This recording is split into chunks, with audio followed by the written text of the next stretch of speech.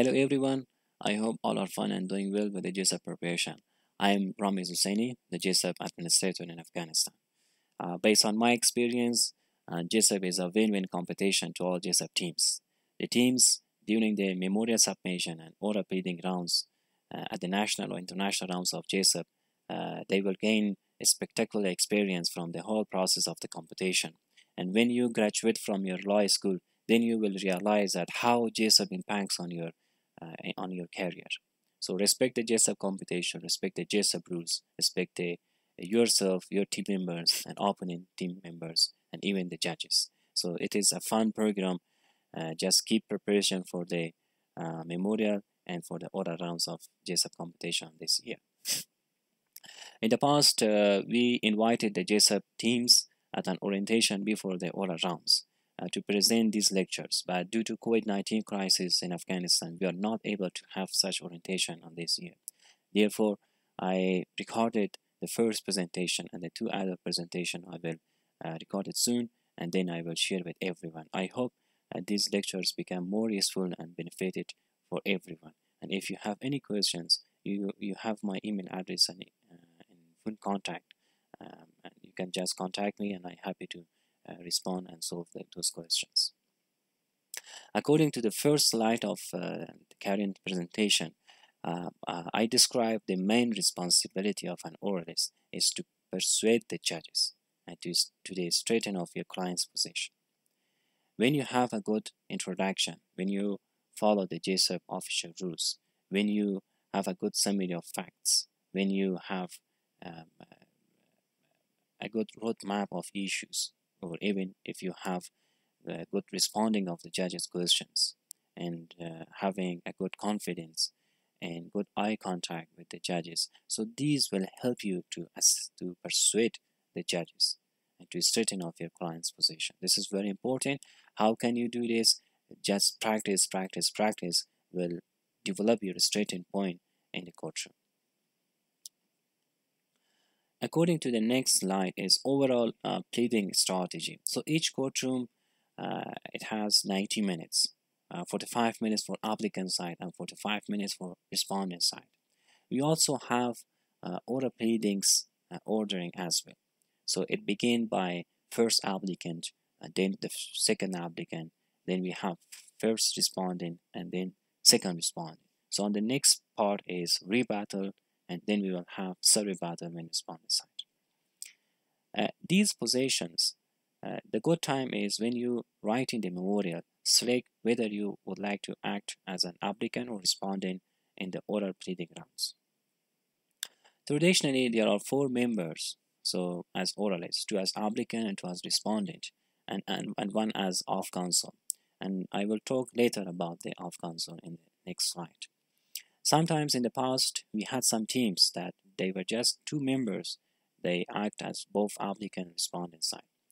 And my recommendation is to give this chance to all four members, to as applicant and to as respondent. Because once you uh, uh, graduate from your law school, you will, you will see that how Jessup improve your capacity. So this is a good opportunity to the team members to be uh, to serve as an applicant respondent and, and, and give their time in writing memorials. So that's that's a good opportunity. Do not miss this opportunity for it comes once at life. Um, so go and uh, and see how how you get experience from uh, these opportunities. On this next slide is off counsel. So off counsel has an important role in, in two parts of the Jessup program, in the memorial submission parts and order pleadings parts. And the memorial submission parts, so the off counsel can help both applicant and respondent side in researching the case and also writing the memorial.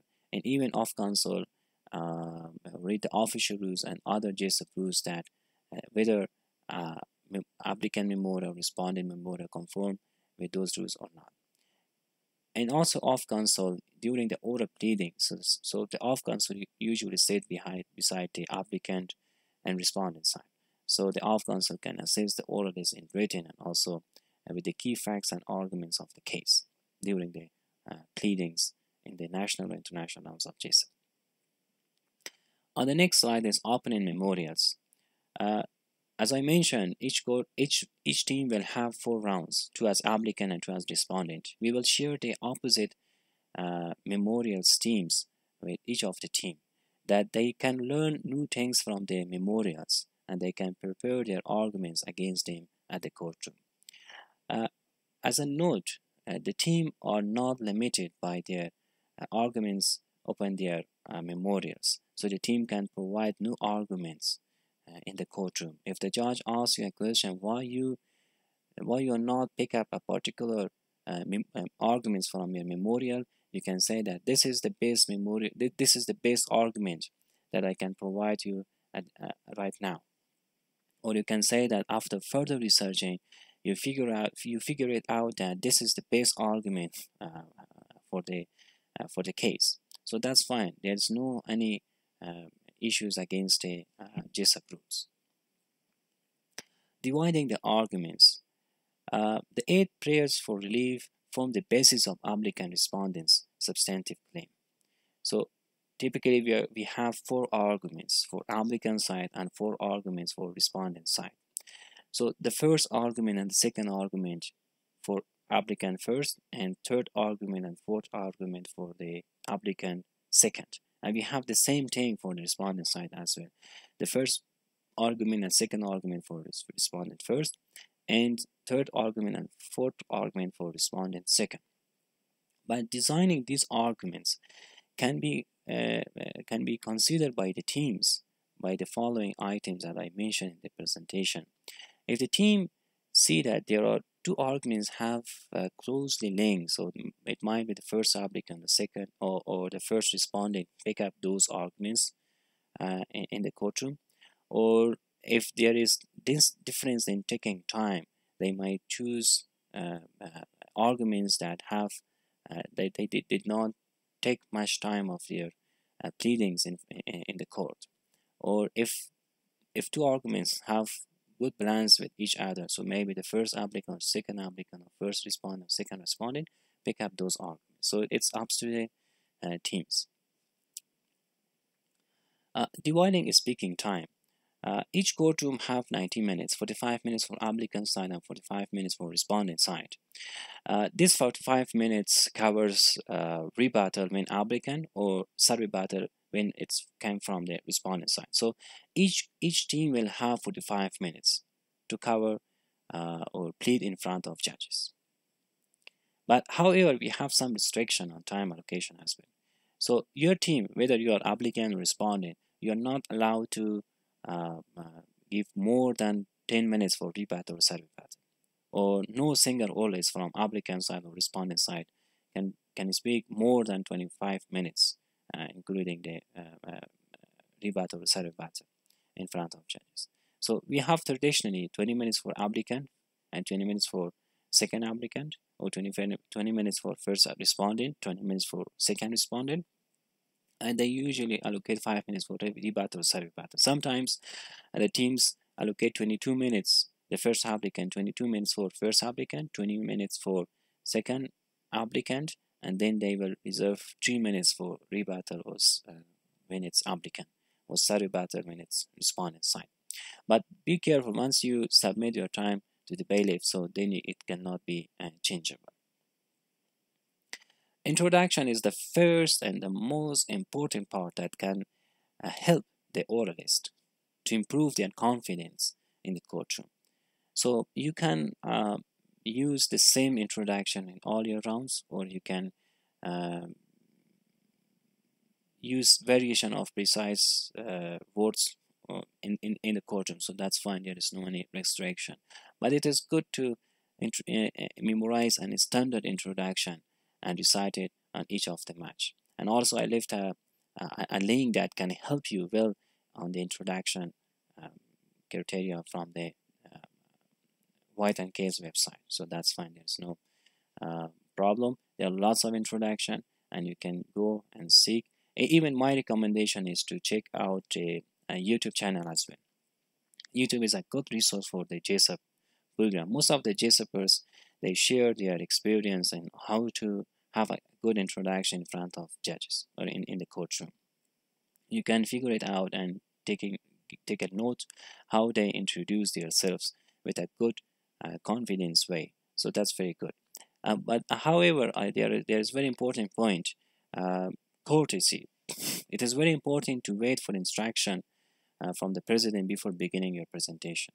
It means that once the judges sit the first applicant the second applicant the first respondent the second respondent when it's rebuttal or surrebuttal they must wait until the president uh, give them instruction to preside in the courtroom. So the first oralist, as I mentioned, has more responsibility than the uh, second oralist. So uh, the first oralist should always tell the judge the time allocation. Therefore, sometimes uh, the first oralist uh, allocate 22 minutes and then the second oralist 20 minutes because two minutes will go for the introduction or summary of the facts or roadmap issues, something, something like that. On the next slide, addressing the bench and competitors. So when you refer to three judges, so your, your excellencies, when you refer to three judges, you, you, say your excellencies. When you're speaking to one judge, your excellency. When you refer to one another judge, his excellency or her excellencies. The head of the judge we call president. If you when you're referring to this judge, say Madam President or Mr. President, not Mr. Evidence or Mr. Agent, Mr. President or Madam President. Uh, we had a case in the past years, um, uh, an agent uh, um, uh mistakenly uh, uh, called the, the, president Mr. Evidence. Like, oh, so th that was something happened um, because the Jessupers, when the judge asked lots of questions, they become nervous. So when you have more practice, uh, you can waive this kind of mistake. Uh, Jessup oralist uh, referred to as agent uh, when you uh, refer to your uh, teammates. So you can say co-agent, not call his or her name. Uh, when you refer to your opponents as agent for applicant or agent for respondent side. A statement of facts. After introduction, a statement of facts is, is also important. Uh, it depends on the judge's uh, request. So uh, the first applicant should offer to present a summary of the fact. If the judges accept, then go. But the summary of facts must be concise summary of the facts, and it no taking no more than one minute in the courtroom. Uh, most of the time, the judges uh, decline this offer because due to uh, time limitation in the courtroom. A roadmap of issues. After the summary of the fact, roadmap of issues is important part for an oralist because the judge is looking for an easy way to understand the issues. An oralist should explain to judges precisely how the issues will address today in the courtroom. So I I I left a, a, a link from the White and case. Uh, so you can go to that and find out how an oralist will have a good roadmap of issues for the judges.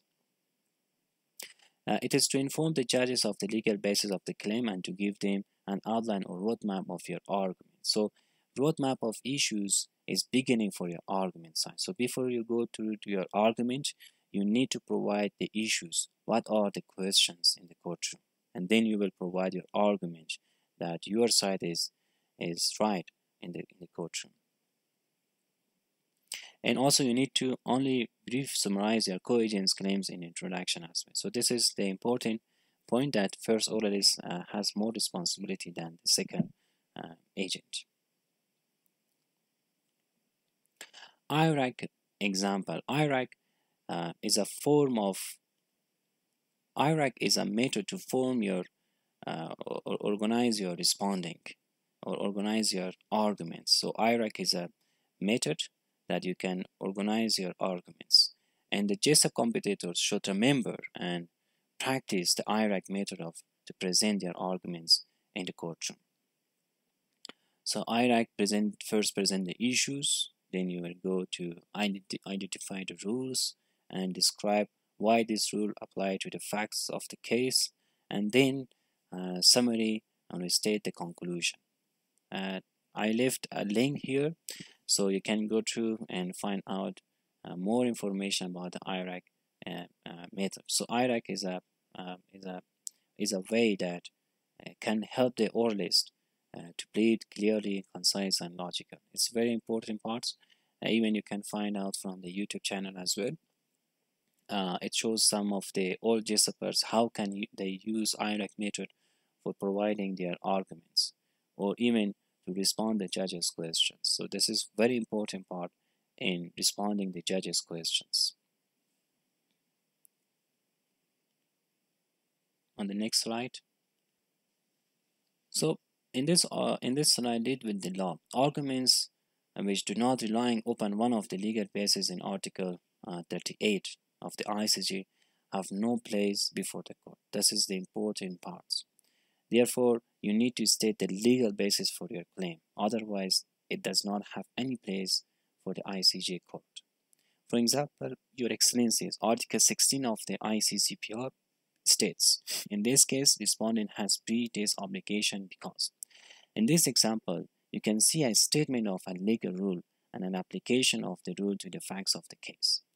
Therefore, uh, you must state a legal basis for your uh, for your application. That's the, that's very important part, and you can find out more information from the uh, White and Case about the lead with the law. This is the important for the Jessupers. You cannot say anything from your own opinion. Uh, you you must uh, go with a with a law. That's that's an important job for the oralist. argument not in your memory. As I mentioned in the past, so I think it's, uh, it's come again. Uh, the teams are not limited by the memorial. If the judge asks a question that why uh, you did not pick up the uh, specific memorial from your memorial, from uh, specific argument from your memorial, so you can say that uh, you, you find out better argument. Or even if ask you a question that uh, uh, to explain that contradiction with your memorial, be honest and say, after further researching, we determined that uh, argument was legally imprecise. So that's there's no any problem with the with your memorials. If you provide new arguments which is not in uh, specified in your memorials, so that's fine. Uh, it does not mean that you breached the law. simple question and uh, answers videos. Uh, when the judge asks you a questions for yes or no, uh, you need to answer first by yes or no, then you can go uh, with your statement. Sometimes judges ask very difficult questions, so they are not your enemy. They would like to know how did of your knowledge and flexibility in engaging, engaging difficult questions. Uh, sometimes uh, judges they do not ask any questions. Sometimes the judges ask uh, multiple times difficult questions. So if you you, you need to just be uh, confident and respond the questions in a good way. If you become serious, then if even if you know the judge the, the judge's questions, so you may face with uh, uh, trouble or you may uh, lose some of the points. If you cannot understand the judge's questions, it is fine. You can ask to rephrase the questions to understand it better and then respond the questions in a good way.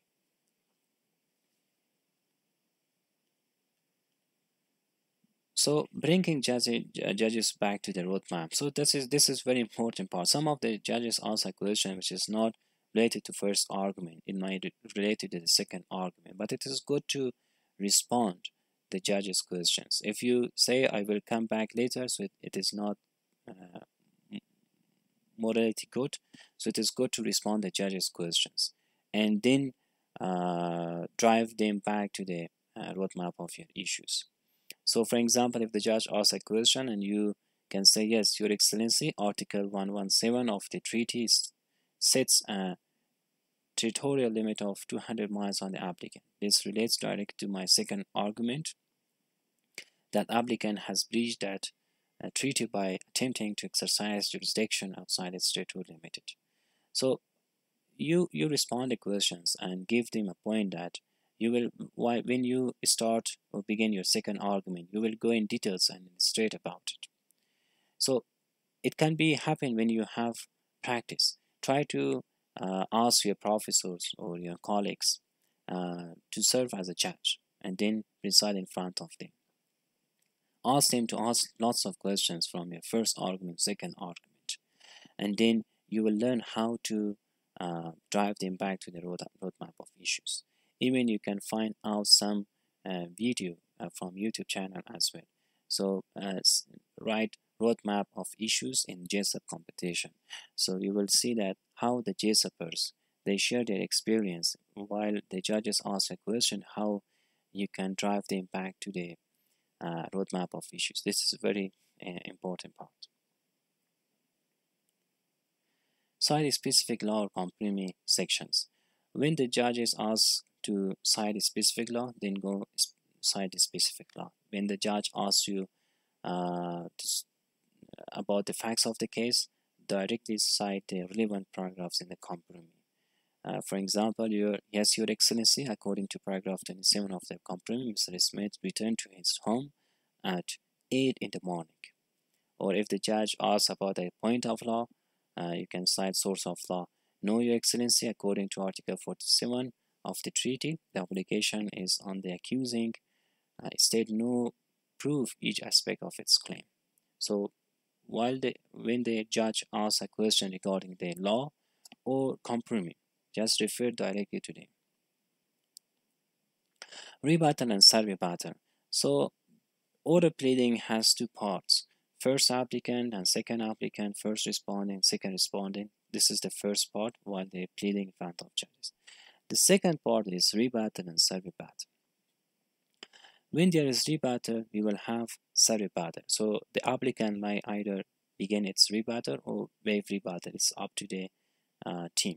But rebuttal is an important part. Even if you uh, lose in, on the first part of the oral pleadings, uh, it means in applicant side, you, you, you still have chance in a rebuttal to win the courtroom.